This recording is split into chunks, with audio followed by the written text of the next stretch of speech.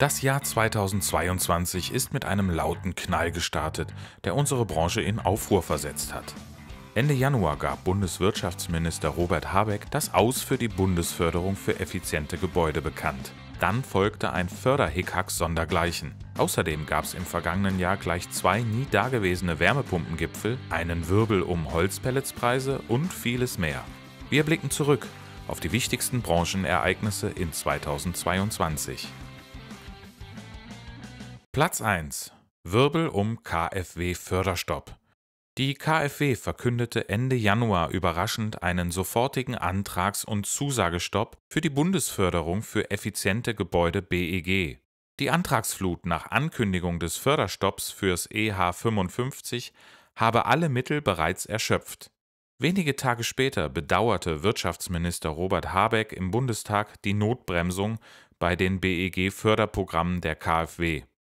Davon betroffen waren der Neubau und Sanierungsbereich. Er betonte auch, die BEG-Förderprogramme der BAFA laufen unverändert weiter. Habeck begründete im Bundestag vor den Abgeordneten den abrupten Förderstopp, der viel Ärger in der Öffentlichkeit ausgelöst hat, erneut mit dem zu hohen Antragsvolumen. Experten aus der Energieberatung und der Baubranche hatten sich kritisch zu dem Förderstopp geäußert. Bereits geplante Neubauvorhaben würden dadurch ad acta gelegt oder weniger energieeffizient ausgeführt werden. Im April wurden dann wieder Fördermittel für das KfW Effizienzhaus 40 freigeschaltet. Kaum erhältlich gab es einen beispiellosen Run auf die wieder bereitgestellten Fördermittel, und nach nur drei Stunden waren die Fördertöpfe wieder leer.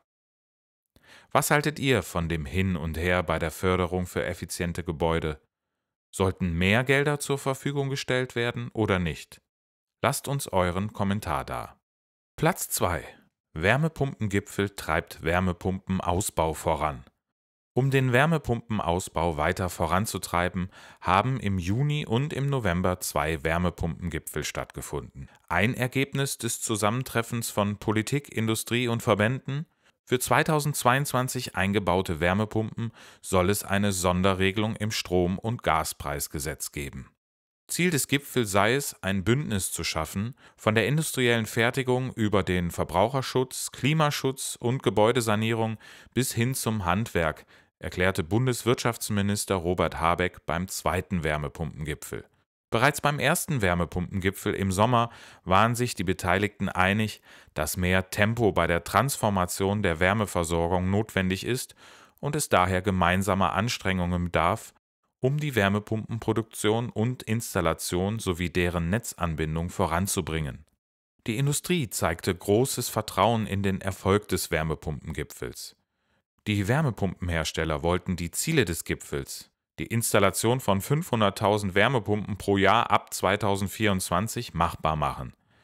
Dafür investiere die Heizungsindustrie in Summe zwischen 3 und 4 Milliarden Euro in Europa in die Wärmepumpe, sagte ein Sprecher des BDH.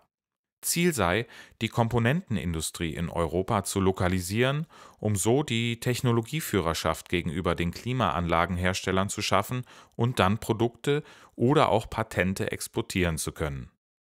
Weitere Informationen zu den beiden Wärmepumpengipfel findet ihr unter diesem Video. Platz 3 Gassparpflichten, Heizungschecks und Co. Seit dem 1. Oktober 2022 und noch bis zum 15. September 2024 müssen Hauseigentümer ihre Erdgasheizungen prüfen und optimieren lassen. In Mehrfamilienhäusern kommt ein hydraulischer Abgleich hinzu. Das sind die Sparverordnungen des Bundeswirtschaftsministeriums. Als Vorsorgemaßnahmen, um unnötigen Energieverbrauch zu vermeiden sowie um eine Mangelsituation zu verhindern oder abzumildern, hatte das Bundeskabinett ab 24. August 2022 mehrere Maßnahmen beschlossen. Fraglich war und ist, ob die Maßnahmen wie beispielsweise der Heizungscheck auch umsetzbar bzw. ausführbar sind. Unser Experte Jürgen Wendnagel schrieb dazu, dass ein Fachhandwerker, der die zu untersuchende Heizungsanlage das erste Mal sieht, sich selbst erst einmal einen Überblick verschaffen müsse. Problematisch könne sein, dass es gar keine Unterlagen zur Anlage, zur Bedienung der Regelung etc. gibt und der Eigentümer die Historie der Anlage nicht kennt, weil er das Haus zum Beispiel mit der Heizung gekauft hat. Unter solch erschwerten Umständen dürfte die Arbeitszeit von etwa einer Stunde für den reinen Check, die der ZVSHK ansetzt, nicht ausreichen, gibt der Experte zu bedenken. Spätestens beim Beratungsgespräch mit dem Kunden werde es mit der Zeitkalkulation extrem schwierig. Angesichts der aktuellen Situation dürften auf den Heizungsfachmann dann viele Fragen niederprasseln. Wie ist eure Meinung zu den Heizungschecks? Sinnvoll oder unrealistisch? Schreibt eure Meinung in die Kommentare. Platz 4. Wirbel um Pelletspreise. Die Pelletspreise und die Preise für Holz sind im Spätsommer durch die Decke geschossen. Gleichzeitig fand eine neue sprachliche Dimension der Diffamierung zum Heizen mit Holz und Pellets statt. Bereits im Juli kostete eine Tonne Holzpellets fast 432 Euro, 95 Prozent mehr als im Vorjahresmonat. Im September waren die Preise dann im Bundesdurchschnitt auf 763 Euro pro Tonne gestiegen, wenn sechs Tonnen abgenommen wurden. Im November sank der durchschnittliche Preis für Holzpellets auf 665 Euro pro Tonne, wenn sechs Tonnen abgenommen wurden. Das waren 9,2 Prozent weniger als im Vormonat und 152,9 Prozent mehr als im November 2021, wie das Deutsche Pellet-Institut berichtete. Die gestiegenen Preise und die damit verbundene Diskussion um das Heizen mit Holz zog die Kritik an Holzpellets von Umweltschutzverbänden nach sich. Mehr dazu lest ihr in unseren Artikeln, die wir in der Beschreibung verlinkt haben. Platz 5. Einbauverbot von Öl- und Gasheizungen. Der Einbau einer Öl- oder Gasheizung als alleiniges Heizungsgerät wird in Deutschland zum 1. Januar 2025 praktisch verboten. Der Grund?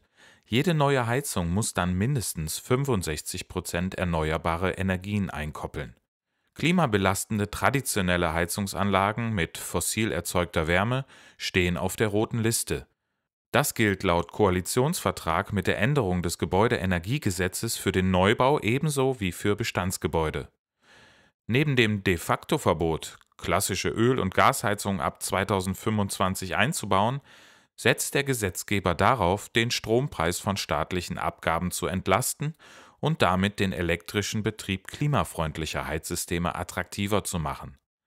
Bereits Anfang 2020 wurde die EEG-Umlage auf den Strom gesenkt, ab 2023 wird sie komplett gestrichen.